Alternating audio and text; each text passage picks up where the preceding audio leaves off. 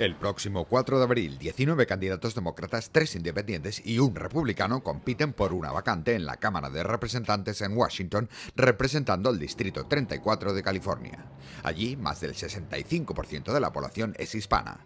A pesar de su origen, William Morrison, único aspirante republicano, propone rechazar la acogida de inmigrantes indocumentados. Kevin de León quiere convertir California en un estado santuario. Perderemos mucho dinero si eso sucede. Morrison también propone reforzar la seguridad migratoria para, según su visión, erradicar el tráfico humano. He trabajado durante años para erradicar el tráfico humano y California es un estado federal con problemas fronterizos, pero en el Congreso nadie habla de ello porque es un tema delicado. Por su parte, la candidata demócrata Wendy Carrillo aspira a ser la primera mujer en el Capitolio con un pasado indocumentado y con la doble nacionalidad salvadoreño-estadounidense. No hay nadie que haya sido una niña refugiada desconocida que fue en un momento indocumentada, que ha podido salir adelante en este país, hacerse ciudadana ser la primera en su familia de, estudiar en las universidades de este país, poder conseguir el sueño americano y decir, este, eh, las voces del pueblo son más importantes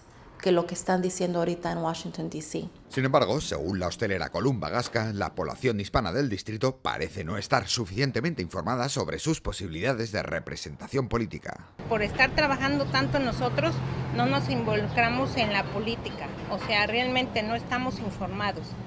Como no tenemos tiempo, llegamos solo de trabajar a dormir a la casa, entonces todo eso no se crea. Estamos mal informados los mexicanos. Arturo Martínez, Voz de América, Los Ángeles.